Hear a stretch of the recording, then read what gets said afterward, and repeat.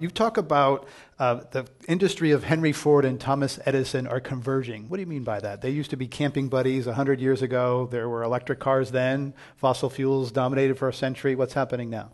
Yeah, my grandmother had one of those electric cars, the first one with a crank window, and she got her arms mixed up and cranked herself into a tree.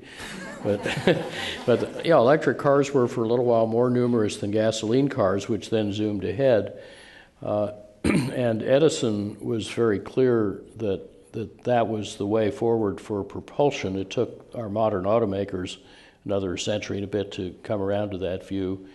Uh, Ford uh, was a, a, different kind of industrial genius. They were good friends. And if, if those guys on one of their car camping trips together were to wake up and see their industries today, they'd recognize everything except the electronics.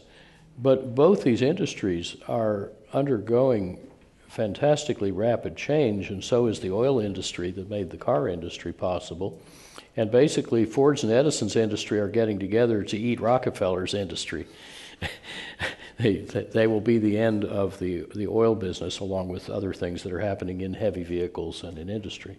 So it's, uh, it's a very exciting time, and I, I, you can kind of imagine uh, Ford whispering to Edison, and I found a picture of him whispering in Edison's ear at the Ford Museum, so I, I put this on as an imaginary uh, bubble.